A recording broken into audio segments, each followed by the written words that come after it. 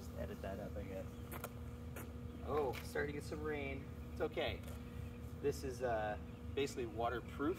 Um, battery is sealed, the controller is sealed, um, and your wiring and motor also sealed. So here we are this morning with the SS10 Thoroughbred. This is an 8 kilowatt model with a 72 volt, 41.6 amp hour Samsung battery pack.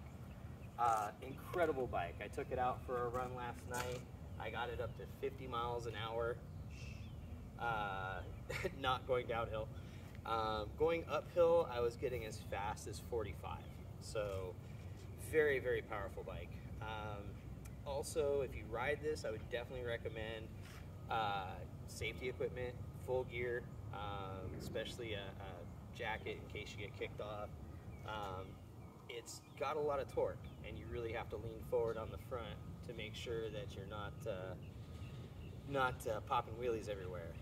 So sorry there's lightning and stuff. We have some beautiful weather here in Las Vegas today. So hopefully it'll uh, lighten up a little bit and I can get this out for a longer test run.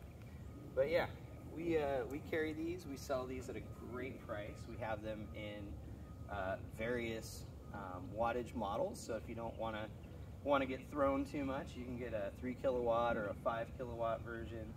And they, uh, they still have that same speed, a little less on the acceleration, a um, little less likely you're gonna be riding a wheelie down the street to the next stoplight, but still very, very solid.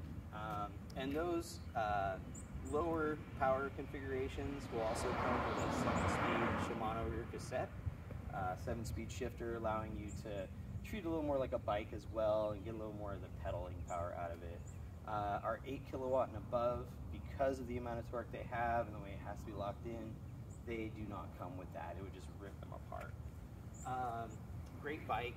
Uh, this one, I believe, is we have listed at 3750 um, It takes about uh, 10 days to build out about 45 to 60 days right now on shipping, but hopefully those are, are going to come down as well here in the next couple months. So, yeah, great bike. I can't wait to get it out and do a full road test, and uh, I'll let you guys know. We'll get some more videos posted.